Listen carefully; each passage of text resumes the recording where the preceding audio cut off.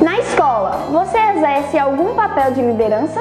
Isso é muito importante porque o entrevistador ele vai ver se você é uma pessoa proativa, se você é uma pessoa que tem facilidade de se comunicar, se você é uma pessoa que tem facilidade de liderar outras pessoas, se tem capacidade também, é, facilidade de ser liderado. Então, se você trabalha na escola, se você ajuda, tem exerce algum papel de liderança, por exemplo, chefe de classe ou faz parte de da companhia de, de formatura da, da, da sala, é, se você é monitor em alguma disciplina, tudo isso é muito relevante, conta, conta muitos pontos para que você consiga subir no nível de satisfação da, do entrevistador.